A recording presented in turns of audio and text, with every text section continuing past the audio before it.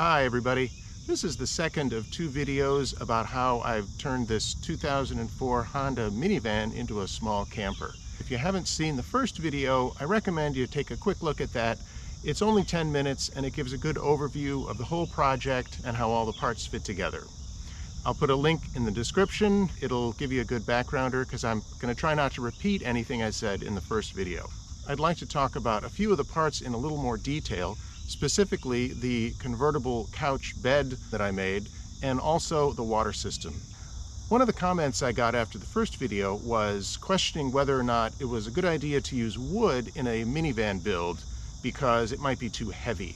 I don't think that's really a concern because the seats that I took out were about 200 pounds and all of the parts that I built and installed totaled about 300 pounds.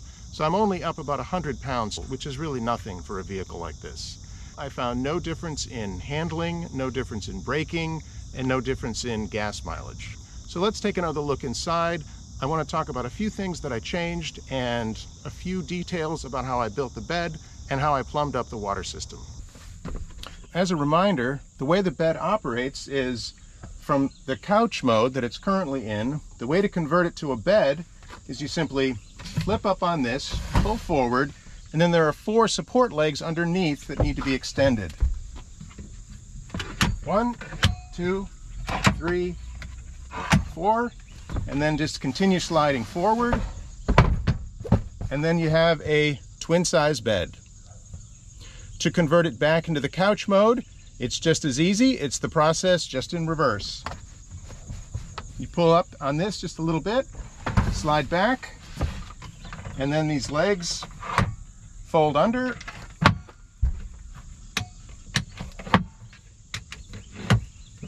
Push back. That's it. To get a better look at how I built this and how the parts go together, I'm going to take the bed frame and platform out so we can look at it in a little more detail.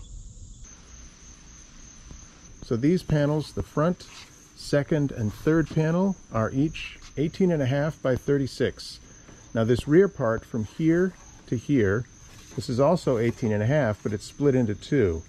This one's four and a half, and this one is about 14. Okay, so all four of these sections, and I'm counting this as one segment, are each the same size, and they're 18 and a half. The reason for that is 18 and a half times four is 74, and that is the length of the mattress after it was cut into four sections and upholstered. Now, you're going to need four piano hinges. One, two, there's one under here, three, and four.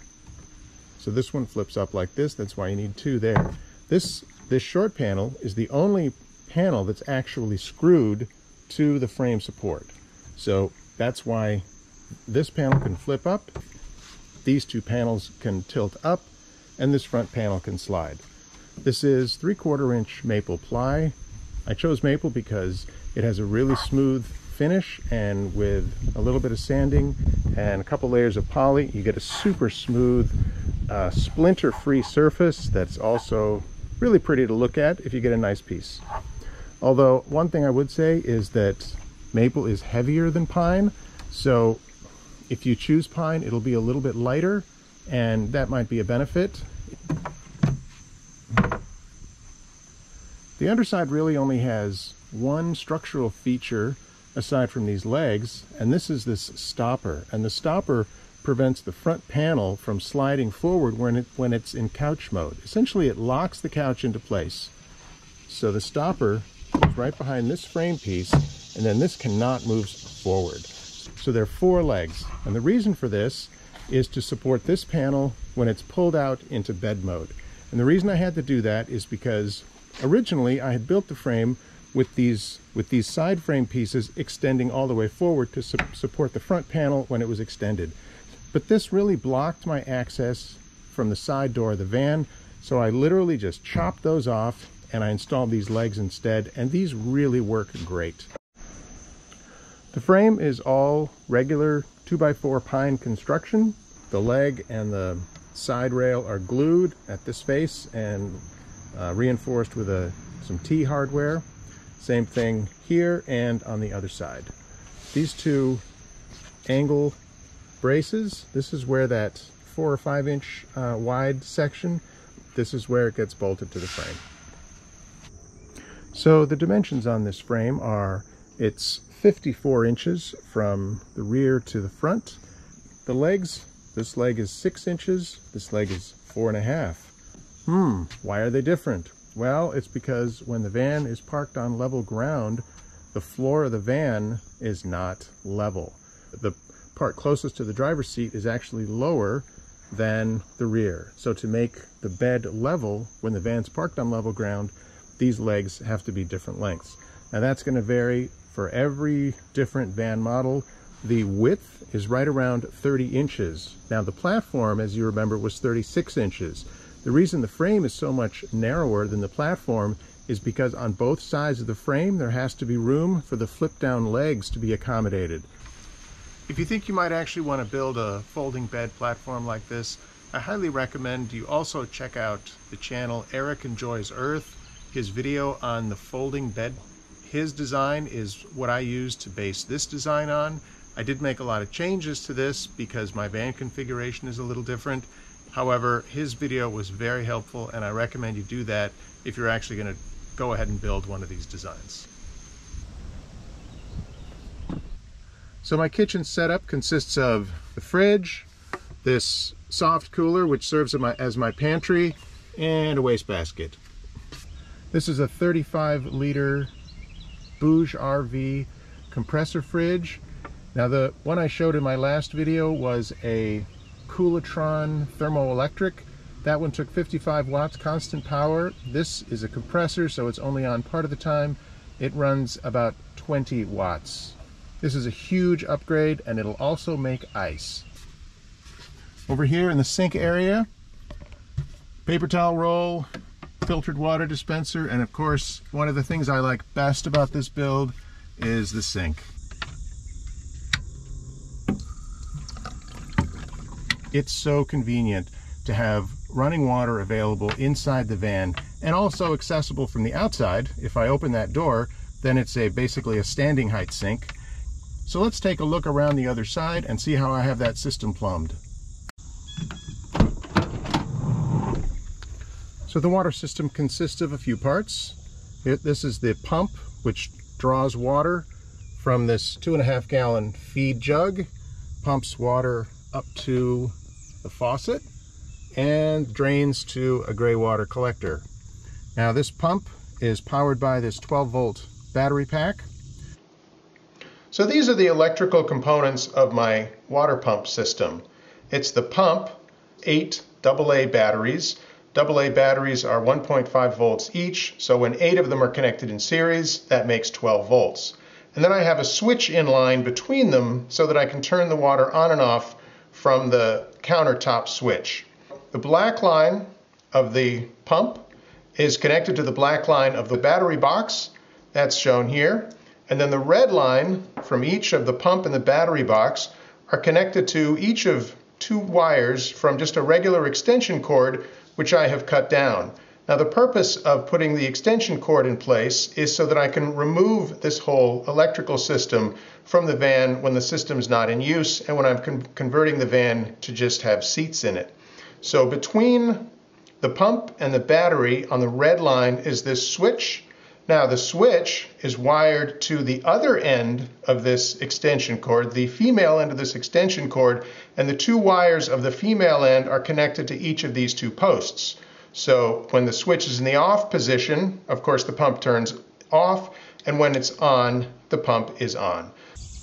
One thing about this pump is that it's not self-priming. The one thing I might do if I had it to do over again is I might look a little further and choose a self-priming pump.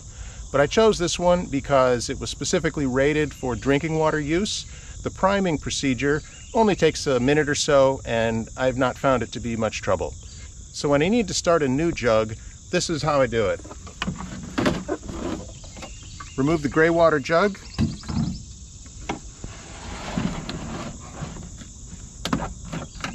If you're replacing a jug that has gone empty, there will be air in the line. It's only designed to pump water, so if you have air, you have to get that out. but that's actually really simple to do. All you need to do is open the valve, fill water into the tube, and then you want to get the water so it's just at the tip of the tube outlet, and you close the valve. Once you close the valve, the water level here at the end of the tube won't change. So you have to get the water at the very end of the tube and make sure that there's no air inside the line. Okay?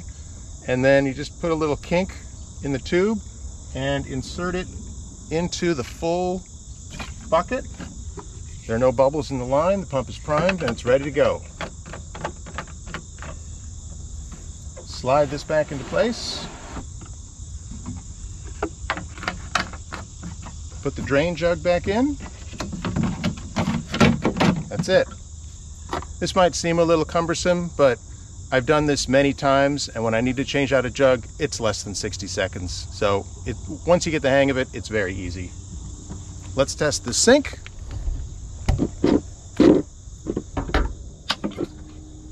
And there we go. We've got another two and a half gallons of running water. So you're probably wondering how long will the battery pack last before you have to change it for this little water pump. So you can do a calculation based on eight AA batteries powering a pump like this, which I think it was five watts. Um, and it turns out that even if you assume only 50% of the theoretical capacity of these batteries can be used, that still results in a runtime of about 20 hours. I use about one jug per day, so that's two and a half gallons. This pump moves 1.4 liters per minute, so uh, a gallon is about four liters, so that's 10 liters, 1.4 liters per minute. So that's about, uh, what, seven, I'd run it for about seven minutes, seven minutes a day. So to get to one hour of usage, it would be about eight days. And if I get 20 hours of usage out of a battery pack, that's 20 times eight, Turns out to be like 160 days of use, which is way more than I would use it in a whole year. So I probably won't have to change these batteries more than about once a year under normal use. One other interesting bit of information about this pump is that the product literature claims it'll last 20,000 hours before it fails. Now I use the pump less than 10 minutes a day, but even if I used it for a full hour a day, how long would this pump last? Well, at one hour a day, It'll last 20,000 hours, so that's 20,000 days, 365 days a year. So that turns out to be more than 50 years. I don't think I'll ever have to replace this pump.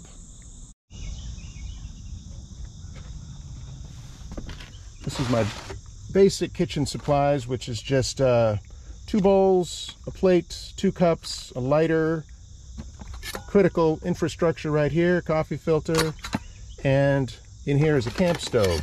Now this is this is a super compact backpacking stove. It's the fuel, the stove, a pot, all in this one small container. I find that just a single backpacking stove is really plenty for my use. When I travel, I, am not really intending to live in this van for months at a time. This is really a travel uh, adventure camping vehicle, so I don't want to spend a lot of time cooking. Underneath the main couch seat, I have storage for more kitchen equipment, some um, pots and pans, some more cups, some Tupperware, plenty of room for spices and other things. I, I don't even fill this up usually. And in the sink cabinet, I still have an unused section of storage space down here. I try to be as simple as I can when I travel because on a couple of early trips I packed a lot of stuff that I never used and it was just in my way. And I find that I don't miss the stuff that I haven't brought. I really like the freedom and ease of use of not having a lot of stuff that I have to sort through to get to something I want. So for me, simple works better. Moving along to my shelf storage system, I really like the open shelf concept because I didn't want to mess with cabinet doors, both from the aspect of simpler construction and ease of use. Most of my daily use clothes fit in these four packing cubes. Uh, up here, some toiletries, camera bag, a few books. Over here, I have my battery pack strapped in. And in this bottom section, I have all my bedding, pillows, blankets, sleeping bag, whatever the season might require. One thing that was a slight problem when I was camping is I discovered that even if it's cool at night, if it's hot during the day, the van absorbs a lot of heat and until quite late into the night, there's heat being released from the van. So the inside of the van, even with the windows open, can be pretty warm. I do have a USB fan, which I showed you in the last video, but that doesn't really provide any cross ventilation. And I thought about, you know, really going wild and crazy and tearing a hole in the, in the ceiling and putting in a Maxxair fan, but that seemed like overkill. And there's a lot of, there's, there's duct work, electrical work, and structural panels in the roof of this van that I just didn't want to mess with. So the only other option was the tilt out rear windows in the back. So what I came up with was I mounted a USB computer fan in one of the Coroplast window coverings of the tilt out window. So back behind the battery pack, mounted in the Coroplast is this computer fan. It runs off USB, 800 RPMs. So this is what it looks like from the outside. Now, of course, it's a bit obstructed because the tilt-out window only opens a little bit, but I can still feel a pretty good flow of air coming out through here. So with the fan that I normally mount on the grab rail of the passenger window and with this outlet fan that I've mounted in this back window, I do get a cross ventilation airflow. I haven't actually tested the tilt out fan in a camping situation, but at least it will be some kind of improvement. Didn't cost very much and it was easy to put in, so what the heck, why not? Taking a look around the back, just want to show you quickly what I have under here. And I have two additional two and a half gallon water jugs, plenty of room for other shoes, clothing, camping supplies, and so on. Under here, some more van supplies. I have toolkit, cables, this is a battery jump pack in case I need to jump my battery to start it. Under here I have a 12 volt air pump for a flat tire and a flat tire puncture repair kit, an immersion shower which runs off USB, and a few other odds and ends. So that's a wrap. I hope this video was able to maybe answer a few questions you might have had or given you a few ideas for your own project. So until next time, take care and maybe I'll see you down the road.